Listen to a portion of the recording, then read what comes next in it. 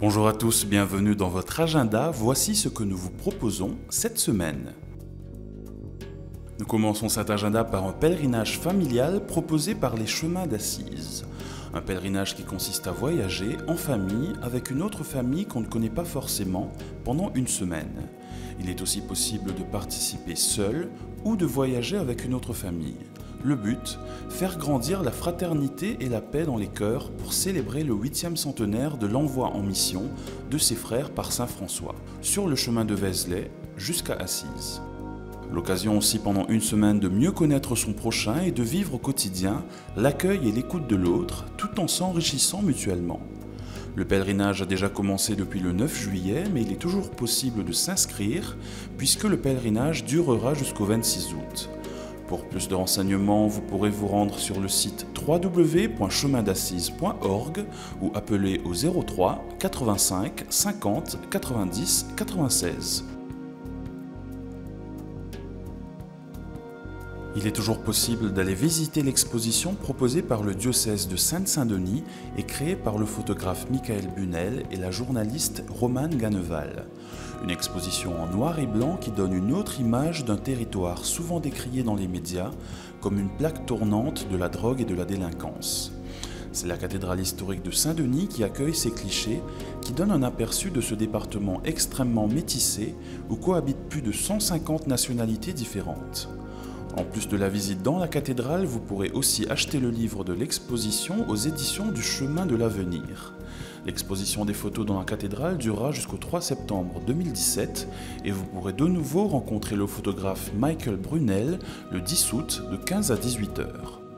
Pour plus de renseignements, vous pourrez vous rendre sur le site www.saint-denis.catholique.fr.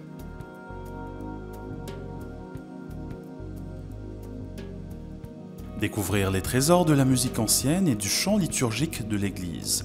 C'est ce que vous proposera Jean-Christophe Cando, directeur artistique de l'ensemble Vox Cantoris et membre de l'ensemble Organum du 12 au 16 août. Une session qui vous permettra un temps privilégié avec la Vierge Marie, à travers le chant mais aussi dans le cadre magnifique du sanctuaire de Notre-Dame du Chêne.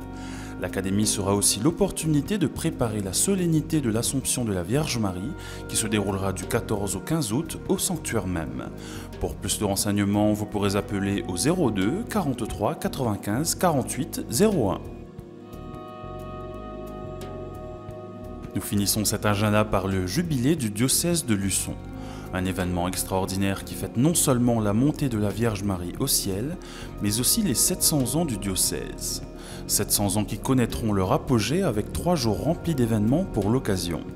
La cathédrale de Luçon sera plusieurs fois illuminée pendant ces trois jours par le collectif Calalumène. Deux messes seront aussi célébrées à la cathédrale par le cardinal Robert Sarra le dimanche 13 et le mardi 15 août. L'édile animera aussi une conférence le lundi 14 août à 16h. Plusieurs concerts auront aussi lieu durant les festivités. Pour plus de renseignements, vous pourrez appeler le 02 51 28 53 00. Si vous souhaitez nous communiquer des informations, vous pouvez nous écrire sur agenda.ktotv.com ou à l'adresse postale qui s'affiche sur votre écran. Nous nous quittons en musique avec Dieu et le chocolat de Vince le Mariachi. L'équipe de KTO se joint à moi pour vous souhaiter une excellente semaine et de très bonnes vacances. On adore que Dieu. Dieu et le chocolat. On adore que Dieu. Dieu et le chocolat. On adore que Dieu. Dieu et le chocolat. Do, ré, mi, fa, sol, la, si, si facile de l'adorer. Ma viguela est accordée et mon tambour est au bon tempo. Comme il est beau de pouvoir créer. Le monde entier est à ma portée, il suffit d'avoir un stylo. Car tu as fait